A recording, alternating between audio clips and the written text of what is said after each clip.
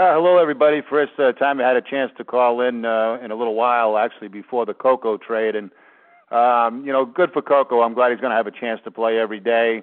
Uh, that's what he wanted to do. He was a good citizen uh, with the Red Sox. He could have complained a lot this year. He didn't, didn't do so, and eventually became the main guy in the playoffs. So, uh, from his point of view, I'm happy for him. And the guy we got, Ramirez, I vaguely remember him, but I do know uh, that he's very tough on right-handed hitters. I think uh, a very low batting average in the hundreds against right-handers, uh, with about a strikeout per inning. And I love strikeout guys uh, in the bullpen because obviously late in the game, the more guys, the less guys you get on base, the less contact, uh, the better chance you have. So.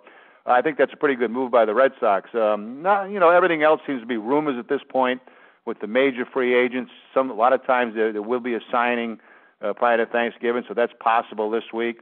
Uh, the other news, uh, Tozawa, I guess is his name, and apologize if uh, that's not correct. Interesting because this guy hasn't even pitched professional baseball in Japan, so you know the Red Sox are digging deep um, over there. They have done a great job over the last couple of years in their scouting of the Pacific Rim, and um, I guess there's a few teams interested in this guy. So that looks like a deal that could be done uh, pretty quickly. Whether he's ready ready for the major leagues, there's no way I can answer that. Obviously, I've never seen him pitch.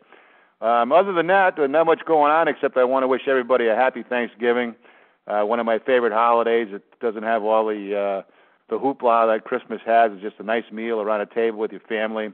And I hope that uh, everyone out there in Red Sox Nation enjoys the day. So happy Thanksgiving.